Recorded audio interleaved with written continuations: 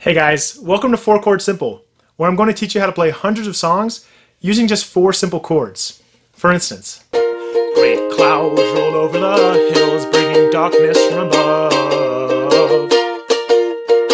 But if you close your eyes, does it almost feel like nothing's changed at all?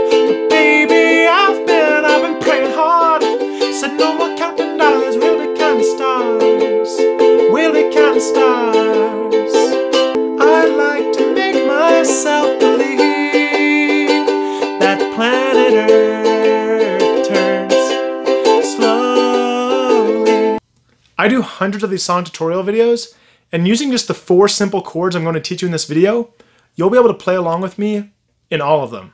So grab your ukulele, make sure it's in tune, and let's get started.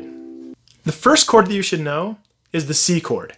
You'll play it by taking your ring finger and placing it on the third fret of the bottom string. Really easy, right?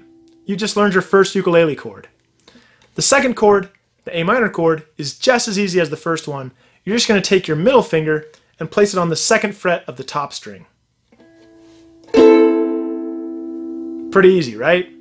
And the third chord, it's not too much harder. You're just going to take your index finger and put it down on the first fret of the second to bottom string.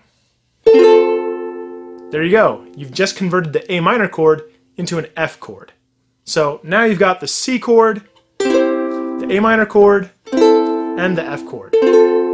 Great. We're just one chord away from being able to play hundreds of songs. All right, so the fourth and final chord is the G chord. It's a little bit harder than the other ones, but seriously, it's worth the effort and time it's going to take to get used to it because once you've learned it, seriously, you're going to be able to play tons of songs. So for this one, you're going to take your index finger, place it on the second fret of the second to top string. You're going to take your middle finger, place it on the second fret of the bottom string. You're going to take your ring finger and place it on the third fret of the second to bottom string. There you have it. There's the G chord. Now you've learned all four chords that you need to know to be able to play along with me in the hundreds of songs that I'm going to teach you in this channel. And if there's ever a song that you're like feeling like it's pretty low for you, you can always adjust the tune by using what's called a capo. This is my capo, and all you do is you just place it in between two frets on your ukulele, and what it does is it just makes it sound a little higher. And you can make it as high as you want. You can just keep increasing the location until it's at a range that's more comfortable for your voice.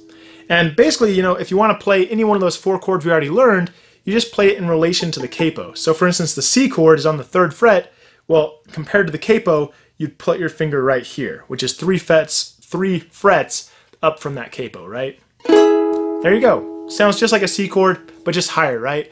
Which makes it better for your voice if you are feeling like you're down in the really low area, right? All right, guys, with those four chords under your belt, you're ready to jump in and start playing. But before you do so, I'd recommend doing a little bit of practice first. So I'd recommend watching my video where you can practice those four chords, specifically practicing transitioning between them. You want to get very quick at it. And also I'd recommend watching my video on strumming, where I teach you four simple strumming patterns that will allow you to make your music more varietous and a little more interesting for people to listen to. All right, guys, hope you enjoyed this video. If you did, give it a like, uh, maybe comment and subscribe to the channel, and we'll see you next time.